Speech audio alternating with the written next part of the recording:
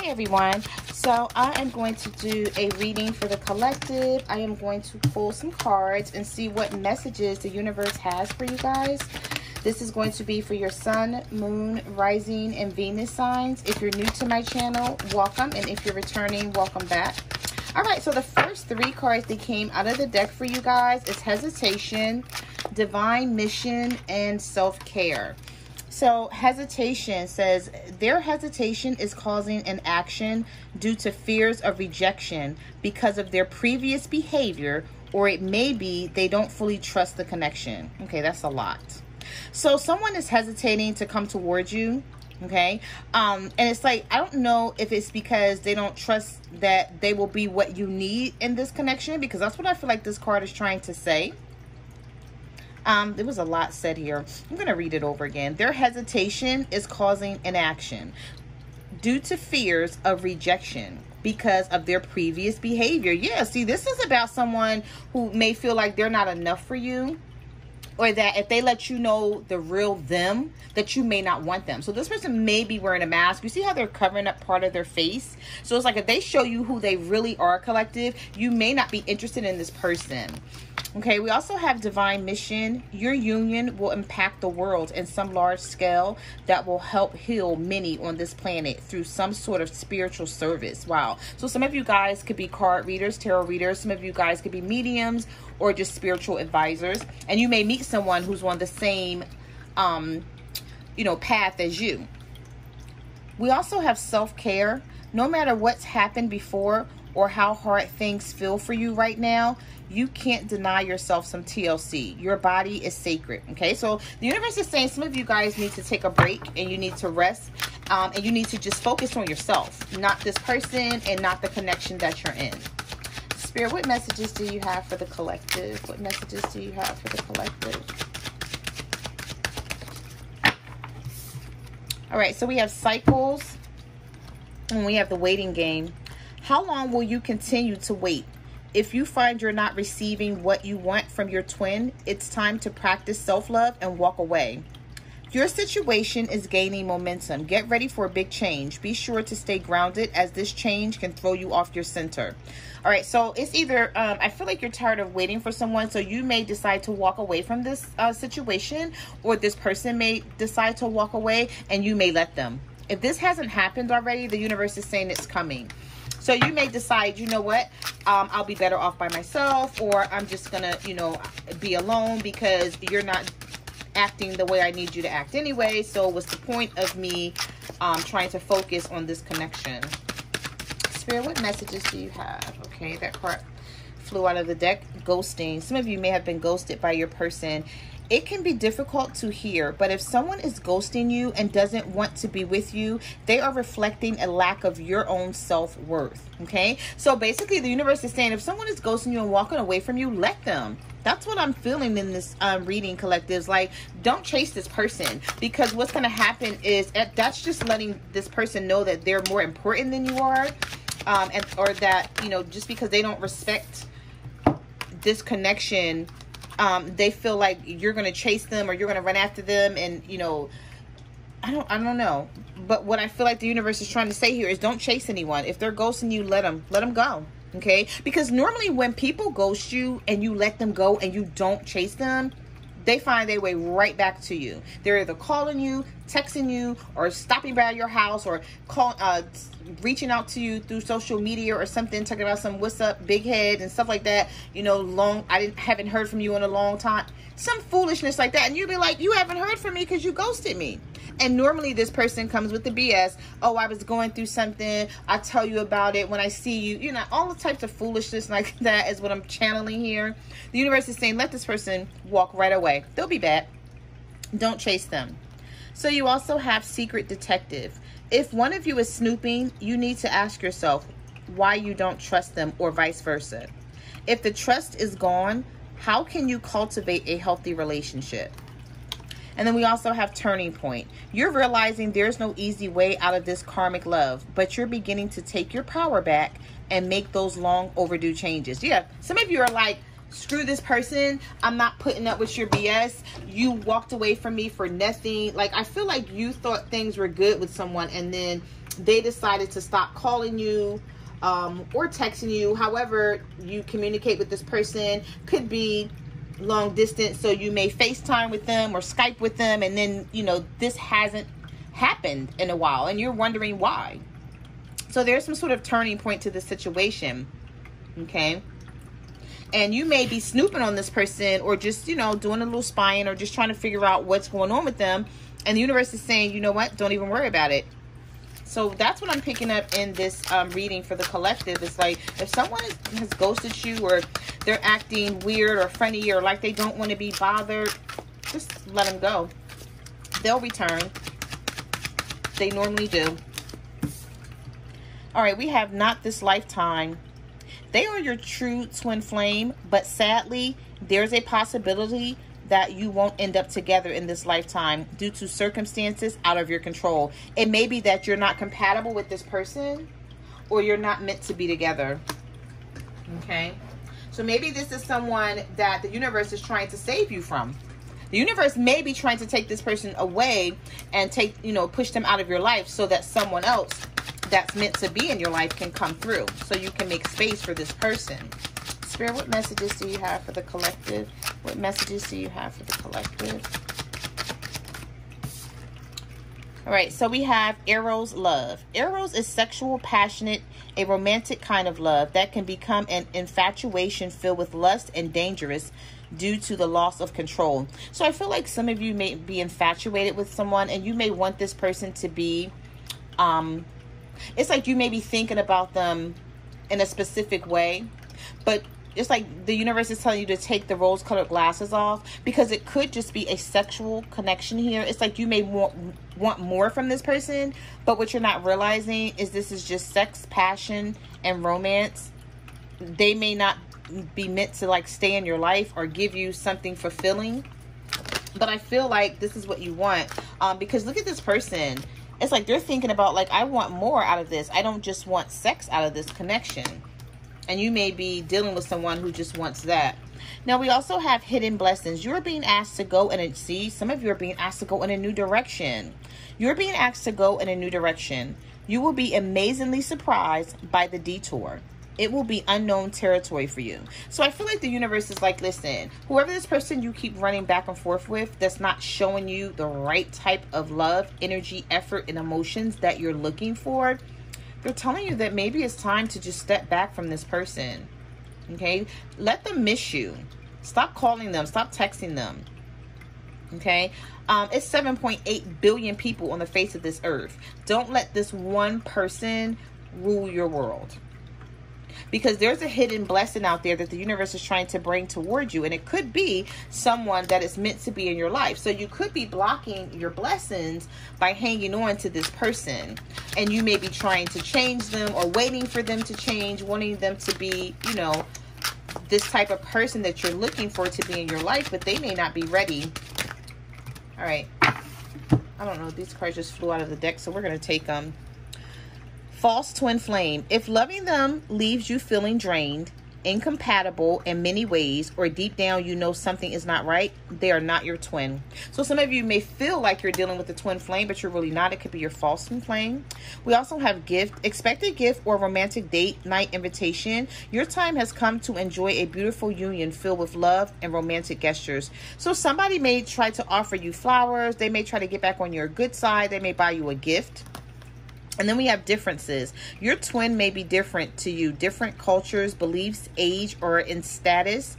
This could keep you apart until the differences get resolved. Okay, so someone needs to grow up here. Someone could be really immature and you're looking for this person to be on your level or to get on your level and maybe that's what you felt or thought in the beginning when you first met them or maybe you've been dealing with this person for quite some time maybe years okay? And you're like you know what? You're still not on my level.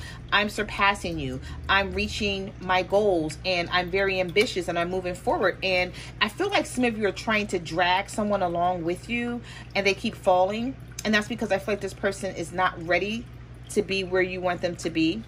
And so the universe is saying you may have to leave this person behind because you may feel like this person is holding you back but you love them. I feel like you love them a lot. And I feel like whoever this is, they may come in and try to offer you something because they may even feel you pulling away your energy collective. Spirit, what messages do you have for the collective? What messages do you have for the collective? All right, something just fell on the floor. Give me one second, guys.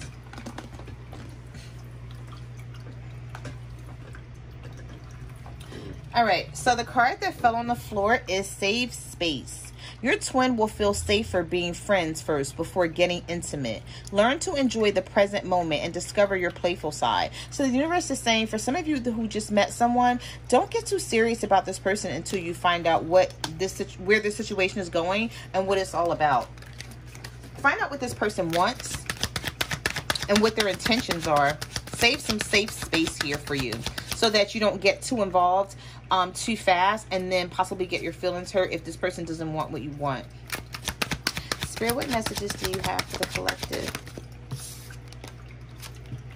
All right, we have right timing. Both of your souls have evolved and have awakened to this connection that could last a lifetime. Your hard work is now being rewarded. So for some of you, this is the right timing for you to be with this person and you will know who you are based on the connection that you're in. Spirit, what messages do you have for the collective? What messages do you have for the collective? Easy breezy. No relationship is easy but it shouldn't be a war either. You will work together and make room for improvements in your connection. Yes, some of you like the it's something having to do with timing. Um, you could be going through something with this person, and then all of a sudden things start changing.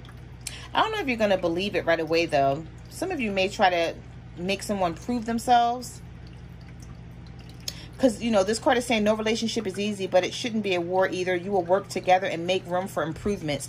And when i think of improvements this means someone is changing themselves okay? Um, it's like they're realizing what you want and what you need and they feel like if they don't change themselves that you're going to walk away from this. And i feel like some of you are some of you are and some of you are and the ones who are it's either you're already out the door or it's like mentally you've checked out. Physically, you may still be with this person, but mentally, you may have checked out from this person already. Spirit, what messages do you have for the collective? All right, so we have stuck in limbo. You're stuck in limbo, filled with doubt or confusion regarding your relationship with someone you believe is a twin flame. Break the cycle. So some of you are stuck in a relationship because you believe like this is your twin flame. But the universe is saying this may not be your twin flame. And it's okay to break this cycle, okay? I feel like you will know when someone is your twin flame because if you pull away from this person and try to break the cycle, this person's going to chase the hell out of you. They're not going to let you leave.